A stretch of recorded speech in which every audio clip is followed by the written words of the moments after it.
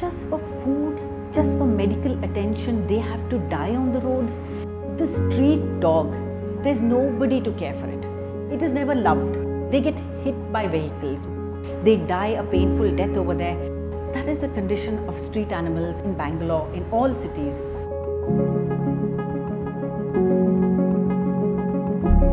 So people see an injured animal, they call us.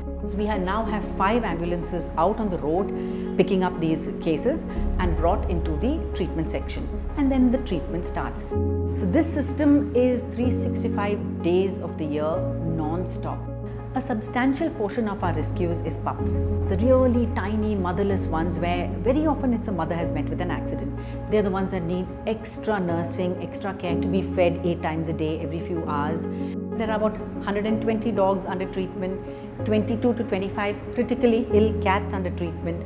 Then you have about 20 kittens, you have another 25 pups. These are animals that require everyday attention.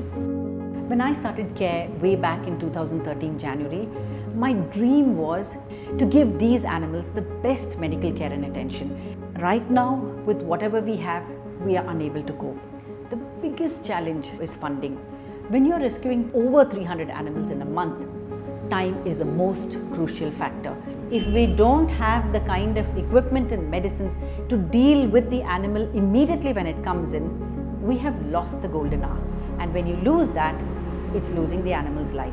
Please help us save many, many more precious animal lives by helping us with medicines and valuable, precious equipment.